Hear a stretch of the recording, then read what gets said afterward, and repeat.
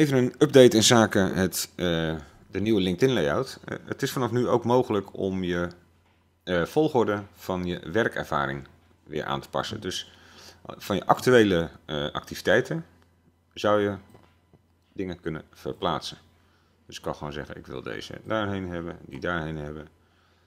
En op die manier kun je dus zelf bepalen welk onderdeel je bovenaan wil hebben. En datgene wat je bovenaan zet, dat is ook degene waarvan de volledige tekst getoond wordt. Dus de volledige beschrijving. En van al die andere moeten mensen nog klikken op See Description. Dus dit is wel een... Uh, mooi dat deze functionaliteit in ieder geval alvast weer terug is. En nu nog wachten op uh, de andere. En dat je ook kan zeggen, nou ik wil eigenlijk mijn summary bovenaan hebben. Want waar staat die nu? Oh, die staat nog steeds bij de body. Ja, die, die kun je niet meer verplaatsen. Je kon voorheen kon je zeggen, oké, ik wil eerst mijn werkervaring, dan mijn summary. Uh, en ik wil mijn uh, skills helemaal onderaan hebben. Uh, ja, dat kan niet meer. Althans, nog niet. Dus daar wachten we eventjes op. maar in ieder geval is het alvast mogelijk om je binnen je werkervaring de volgorde te bepalen.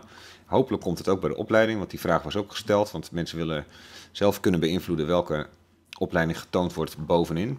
Dat is namelijk degene die bovenaan staat. In dit geval is dat de Haagse Hogeschool. Die staat bij mij bovenin. Dat is niet de laatste opleiding die ik had gedaan, maar eh, wel degene die ik daar graag genoemd wilde hebben. Uh, er is allemaal kleinere opleidingjes, dus ik denk, nou, hoofdopleiding is daar, de, moet bovenin staan.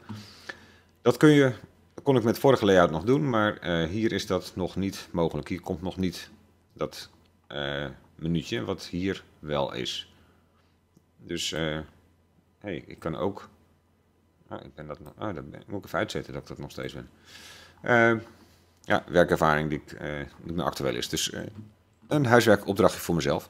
Maar je kunt in ieder geval weer deze volgorde aanpassen. Heb jij nou ook een vraag over LinkedIn? Stel hem op linkedinpro.nl en ik ga hem voor je beantwoorden. En vergeet niet om je even in te schrijven voor de nieuwsbrief van linkedinpro.nl. Dankjewel.